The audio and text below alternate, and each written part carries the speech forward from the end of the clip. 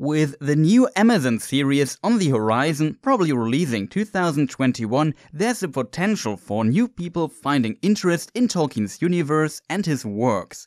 As a huge Tolkien fan myself, I want to share my passion and knowledge, welcoming everyone who is interested. In this context, the video is probably not for the hardcore fans. I try to keep it simple and avoid spoilers as much as possible. And here we are at the first thing you need to know about Tolkien. His books and fictional universe are far more complex than you might think, but diving into the complexity and all the details is really rewarding and often mind blowing. Tolkien spent a huge time of his life to form the history of his universe and his languages. In addition, his main works are quite consistent too. If you ask me what makes his book so special, this would be the answer. There's so much authentic and consistent interconnected material that discovering its details takes you to these fictional places, and the process of exploring his world in your mind feels actually rewarding. But let's talk a bit about the films first. In our modern times, a lot of people probably know, for example, The Lord of the Rings through the films made by Peter Jackson and his team, released in 2001 to 2003, but not the books. Even for me, they were an entry point. I started reading the books after seeing The Fellowship of the Ring in 2001. There are also the Hobbit films that came 2012 to 2014. You could ask, how well did they cover the source material and is there more in the books? The Lord of the Rings films are quite long, and you have probably heard about the extended editions, which are even longer. So the answer is yes, there is more, and even in the extended editions, there is still stuff missing. In my opinion, these extended versions are also far superior to the theatrical cut. So if you wonder which version of the film I would recommend, clearly the extended editions of The Hobbit and especially of The Lord of the Rings, at least if you have no problem with the length. Of course, I will also always recommend to read the books. We come to this in a moment. But as mentioned, even those longer, more detailed versions don't cover everything. Just an example, between Frodo and his friends on the Bucklebury Ferry and them entering Bree, the book still has four chapters that are missing completely in the film. In it, there's just a cut between those two events. I have started a very detailed video series about the exact differences between the Lord of the Rings films and the books if you are interested. In the case of The Hobbit, it's a bit weird. The films added many things that were not in the book at all, but leaving some other details out or changing them completely. Here I also think the extended edition make the Hobbit films better, and the first one was probably the closest to the book, but even here we find some changes. The second film seems to be the most different film. So, especially The Lord of the Rings has story wise much more to offer than what you see in the films. And I'm not even talking about the lore or background story. But I think they still give a good overview of the main stories. However, be aware that book fans often dislike the Hobbit films because they changed so much and added things that didn't exist in the book. But there's more than those main stories. Else Amazon wouldn't make a series that plays over 3000 to 6300 years before Lord of the Rings. As mentioned, Tolkien worked a lot on the history of his universe. Actually, he wanted to create his own mythology for England and maybe rediscover the concept of mythology in a sense. As a professor in Oxford for philology, he also loved languages. He was an academic who translated Old English texts often with mythological content, and understood the importance of language for mythology, probably better than anyone at his time. In this context, languages are also a huge part of his works, even on a scientific level. He did not just make up some words, he even constructed how the languages develop in his world and law over time, why people speak a certain language, use certain words, and so on. For this, he took many inspirations from real world languages, and the amount of detail here is really mind blowing. So don't wonder if you often stumble upon notions of for example, etymology, which is the history or origin of words. There are also tons of names, sometimes even in multiple languages. Tolkien also liked poems, so songs and poems appear a lot in the books too. What always fascinated me about Tolkien is the sheer depth of his works. You can very often ask, who is this and what's the story of his ancestors? And why did that happen? And Tolkien has most likely an answer for you, somewhere. A lot of those backstories and information were published in the Lord of the Rings appendices and in a book called The Silmarillion. The Silmarillion is basically backstory of the Lord of the Rings, the book. However, there is an important detail with it. He worked on it since the early 20s of the last century, but never finished it. His son and editor, Christopher Tolkien, completed the book instead. To make it fit to The Lord of the Rings, he selected some specific writings from different times that would not contradict the main works, added some missing elements, had to make some slight changes here and there, and then released it posthumously. How true this book is to his father's later ideas and visions is much debated, but one thing is clear. If Tolkien himself would have finished it, it would be a very different book. Still, it's well crafted and the best we have.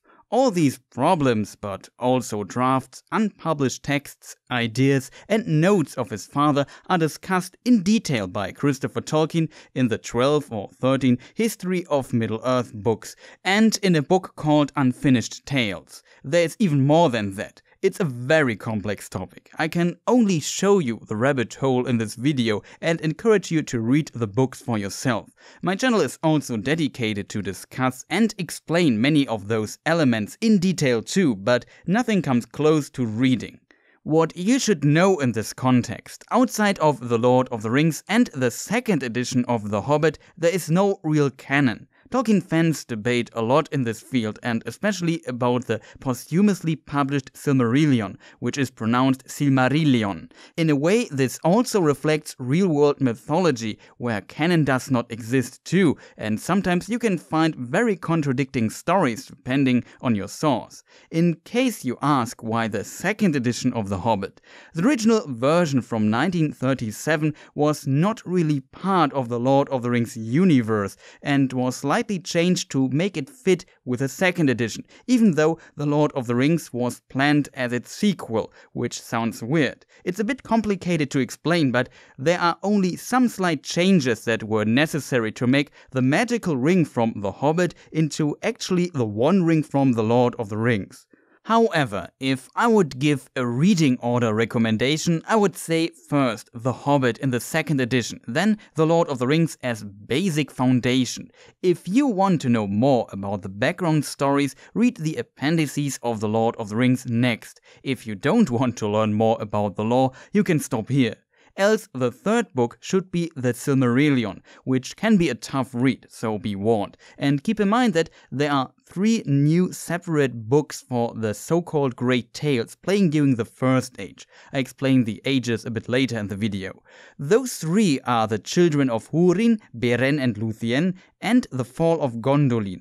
These are three main story points of the Silmarillion, but in those new Great Tales books we find new information that was originally published in several different books, to which we come in a moment. And those three books are probably more precise or updated updated than the versions we find in the Silmarillion itself.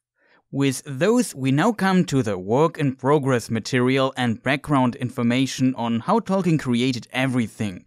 A very interesting book in this context is The Unfinished Tales. The Great Tales take some of the information from this book, and I would recommend it next or even directly after The Silmarillion. After this, check Tolkien's letters. They give great insights into what Tolkien thought about certain parts of his lore. Note that some letters were never sent and sometimes for a reason. For example, the information in letter number 155 is quite debatable when it comes to canon. And if you hadn't enough by now, check the 12 or 13 History of Middle Earth books last. I often read the last three. Morgoth Ring, The War of the Jewels, and Peoples of Middle Earth. But that's just me. They are all very complex books, and you often really need to know the three main books well to fully understand them. They explain and discuss the creation of The Lord of the Rings and the Silmarillion, especially what's not in it, like drafts, notes, work in progress texts, and ideas of Tolkien. Beyond that, we have, for example, Tolkien's Lord of the Rings related poems, which also include, beyond the poems, some commentary and additional information you don't find anywhere else. For example, The Adventures of Tom Bombadil. They are a bit special, and in theory, you could read them much earlier, even directly after The Lord of the Rings, if you are into poems, because they are directly related. I see them as part of the world, but special cases if that makes sense. When I do research for a video, I rarely need them too, which might be a reason why they are often not on my radar, but I wanted to mention them. There are some other books like The History of the Hobbit, the Tolkien biography by Humphrey Carpenter, or some other good books from Tolkien scholars, but this list should keep you busy for some time. He also wrote not Lord of the Rings related books like Beowulf, the Monster and the Critics. But would I recommend reading the books first before watching the films or vice versa? I think this is hard to answer and depends on what medium you prefer. If you don't enjoy reading and can't find motivation to start, watching the films might be a good start to potentially get the motivation.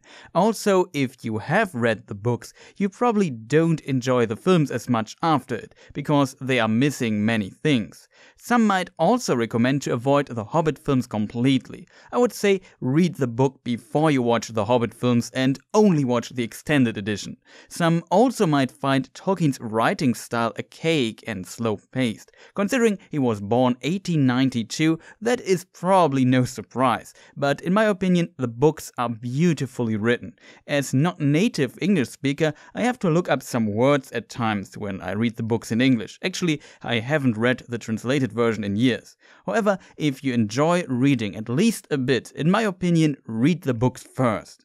Now, in the last segment, I want to talk a bit about the fascination of Tolkien and some details of his world. What impressed me was always Tolkien's love for details. This leads to a beautiful immersion. When I read or even watch the films, I'm in Middle Earth with my mind. Almost every character, place, or name has a background story and some thought behind it. The world feels alive through this, and when I reread the books or parts of it, I always discover new details and thoughts I never noticed or had before. Sometimes I also simply forget details because there's so much much. The main stories start in the Shire. It's a relatable, idolized anachronism in Tolkien's world. It feels like it does not really belong into the time of the world, but feels a bit like home for the reader. Characters like Sam, Frodo, Merry, and Pippin are also relatable. They have no superpowers. They are no scholars or wizards. They don't even feel like the chosen ones, even though they are in a sense. But they are just a bunch of friends on an adventure. The power of the hero's journey, I guess. What might be surprising for people who just watched the films, some of the characters are vastly different in the books. Merry and Pippin are, for example, far more mature, especially Merry.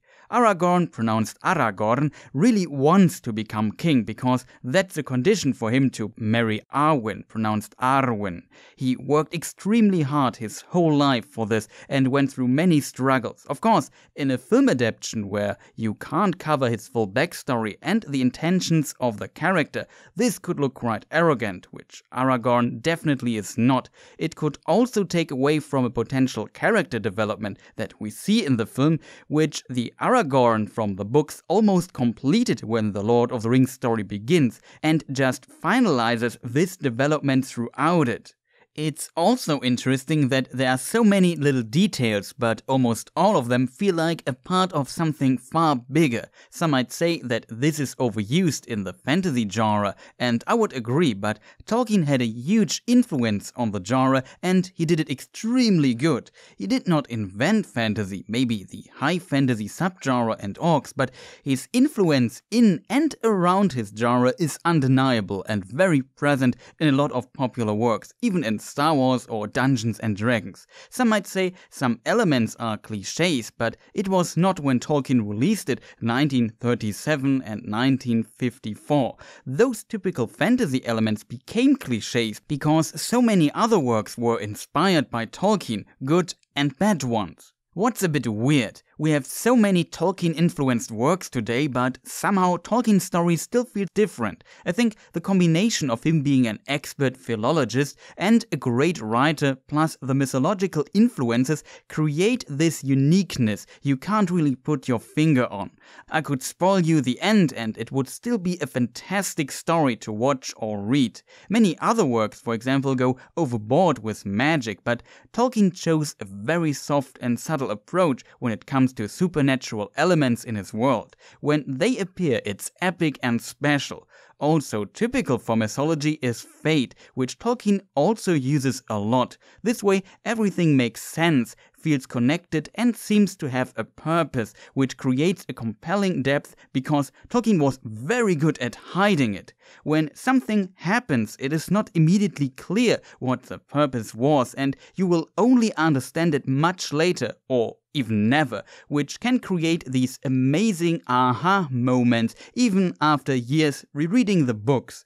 He connected so many story elements with each other, it's truly amazing and brought almost everything to a satisfying end in The Lord of the Rings. But Tolkien also understood how to play with it by implementing few enigmas and mysteries, giving you the feeling that the world is much bigger and there are still things to discover and find out, even though we will never know. I think those elements make the reader curious, but at the same time, Tolkien very often gives actual answers. I always wondered who or what the antagonist Sauron, pronounced Sauron, was. A very mysterious entity, but if we dive deep into the lore, we learn quite a lot about him. He has thousands of years of backstory. This is often the case, but not always. So when you stumble upon one of the few actual mysteries in the world, you are motivated to find answers because there were answers to almost all other questions,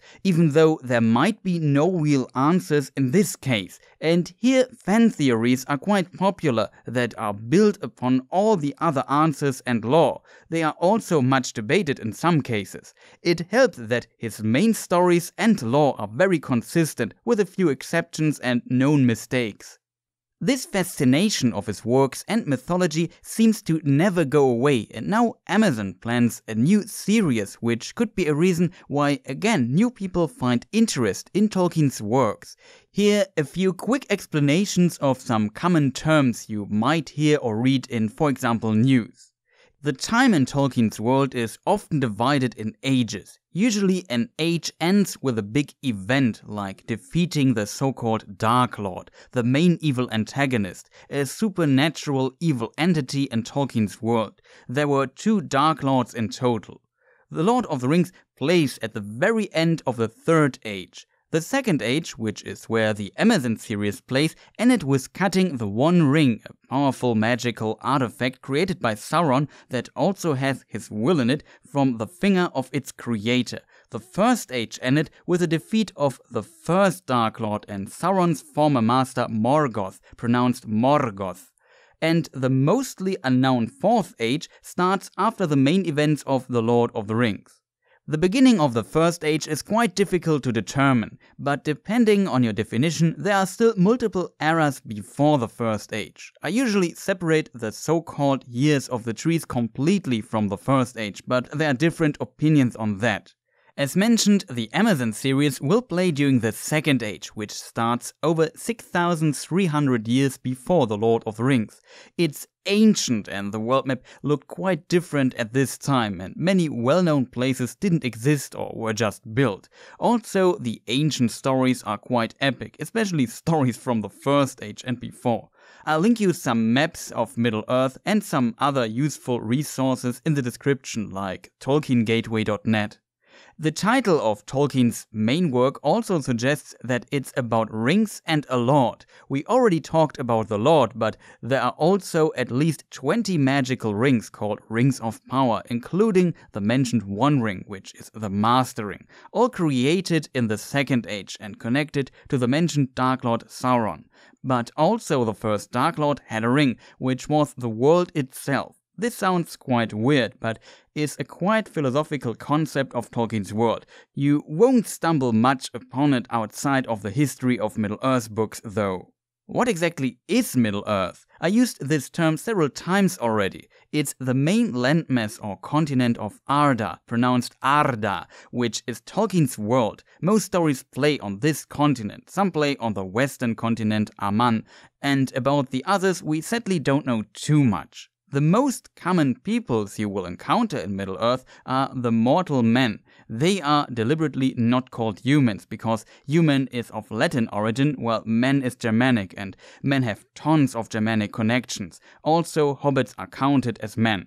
The mortal elves, the sturdy dwarfs, and the orcs, with their mysterious and much debated origin story. Beyond that, there are Ainur, that are spirit beings, and maybe some others and this should give you a good overview, I hope. Thank you for watching. I for sure forgot something, I always do. I still hope it helped new people out and you enjoyed watching. If so, consider pressing the like button, leave a comment, you can also ask questions, and in case you subscribe, consider pressing the stupid bell. If you want to dive deeper into the lore, I have tons of lore videos available on my channel. Maybe check my recommended lore videos playlist. I can also recommend my books and film differences series. Playlists are in the description too. I also do gaming content from time to time if you are into this. Shoutouts to the artists who gave me permission to use their artwork in my videos. Nyati, Benev and Kimberly80. Maybe check their sites. Again, thank you for watching and goodbye.